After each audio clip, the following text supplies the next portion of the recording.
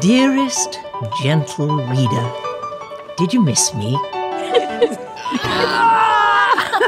so heavy. I'm Nicola Coughlan. I'm Claudia Jessie. So we are going to give you an exclusive look at some of the new sets from Bridgerton 2. And some of the old sets, because why not? Come on.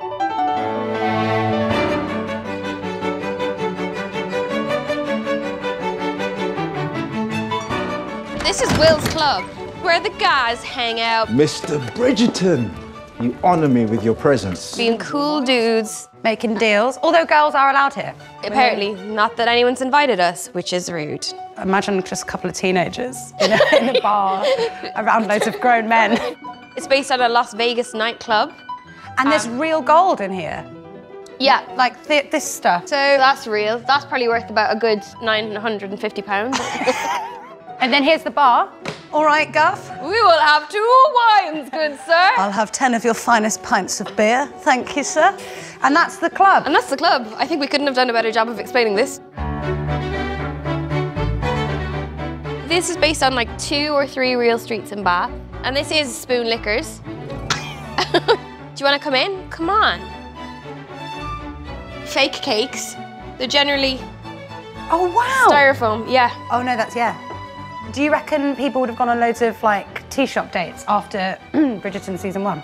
Because they thought. Oh my god, I hope so. And now we can take you to the Modiste, which we know more about because we've actually spent time actually there. there. This is another recreated shop Yes. from Bath. Halfway through season one, we lost the shop and they rebuilt it. So Madame Delacroix owns this place. So this is where she does her servicing of people. Address. D R E. A say. Without giving too much away, like season two, what sort of role does Madame Delacroix play? Huge.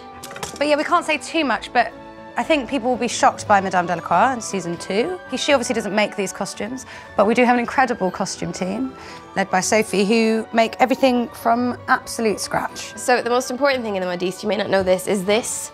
Because this is my mom's favorite type of pottery. It's called Belleek. And it's got the little, the little mark on the bottom. Is it Irish? It's Irish, yeah.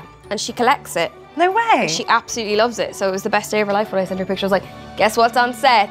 Oh, let's just take that then. That's from my mum. They want, they want her to have this. So now, Let's just take it. thank you guys. Thank you.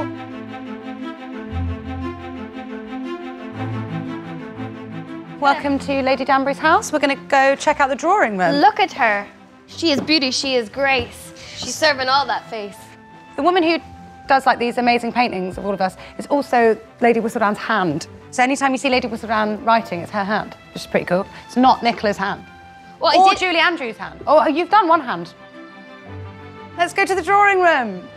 This is stunning and yet another place that Eloise and Penelope never get Never invited been here. to. Lady Danbury. Oh, how delightful it is to see you. And you. It's really nice. It's very pink. Definitely the most feminine house. Yeah, I'd say so. What do you think your drawing room would look like when Penelope's like a grown-up? What, do you, what would you want? Oh, when she's a grown up. Well, I'm hoping she's gonna marry Colin. So it's gonna be a blend of the Bridgerton and Featherington, which will be disgusting.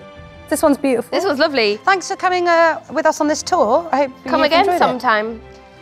Bridgerton season two. Now you get out of here, you. You get out of here. You go. Go.